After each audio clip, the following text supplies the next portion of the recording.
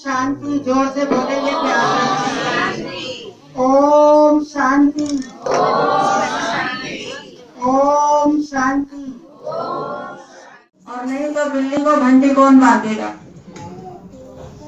प्रस्ताव तो बहुत अच्छा पास हुआ कि बिल्ली आती है, चूहों को खा जाती है। इसके गले में घंटी बाँध दी जाए, हम सब सतर्क हो गए अपनी अपनी बिल में घुस जाएँगे।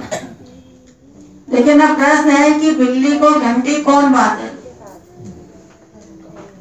कौन जाएगा बांधने कोई चूहा रहता है इसीलिए हमको अपने आप को सजग रखना है। बिल्ली तो आएगी, समस्याएँ तो आएँगी, परिस्थितियाँ तो आएँगी। तो जब हम ये निश्चय करेंगे कि हम जाति जोत है, ज्ञान का दिया है, योग की दीपक है तो घी भी है। जब रोज घी डालते रहेंगे ज्ञान का तो योग रूपी दिया सदा सदा चलता रहेगा। और हम सदा रोशनी देते रहेंगे। ना खुद को अंधकार होगा और ना दूसरों को आज भी बाबा के महावाक्य थे कि मुरझाते तब है, भूलते तब है, इसलिए खुशी नहीं रहती है। बहुत लोग सोचते हैं अभी बहुत समय पड़ा। और समय को देखा किसने? है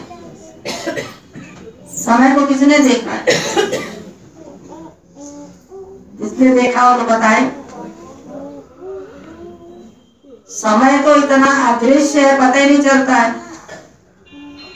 अगले घड़ी, अगले क्षण कुछ पता है? लेकिन अगर हम समय के साथ साथ चलेंगे तो समय तो बहुत तेज़ी से आगे जा रहा है और हम पीछे रह जाते हैं। अगर समय को देखें तो तेज़ी से चलना चाहिए। समय तो भाग रहा है, अभी सात, छह बजा है, सात बज जाएगा। साढ़े छह से सात बज जाएगा। हम पहुँच पाएँगे उसके साथ। इसीलिए हर हालत में शिव जयंती मनाना मना अपनी कमी, कमजोरियों को सौंप देना। भजन तो गा लेते हैं, सब सौंप दिया, तुम्हारे हाथों में भार। है उत्थान पतन मेरा तेरे हाथों में है। लेकिन क्या सचमुच सौंप देते हैं? इसीलिए देखो, शिव बाबा के ऊपर क्या चढ़ाते हैं? सबको पता शिवरात्रि आती है बेर तो चढ़ा दिया, लेकिन बैर भाव बना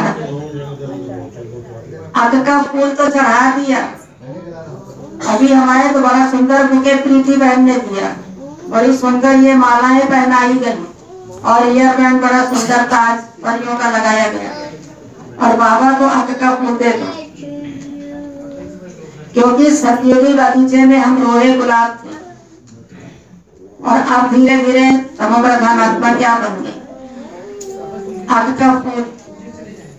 एक फूल है जिसमें खुशबू बहुत है, सुंदरता नहीं है। दूसरा फूल है, सुंदर बहुत है तो खुशबू नहीं। और गुलाब सुंदर और खुशबूदार। लेकिन आग के फूल में ना सुंदरता है, ना खुशबू है, बल्कि दुर्गंध है। और उसका दूध हाथ में लग जाए तो रोशनी और चली जाए। तो आज हम सब आत्माओं की यही स्थिति है। तो बाबा कहते तुम जो हो, जैसे हो, मेरे हो, समर्पित हो जाए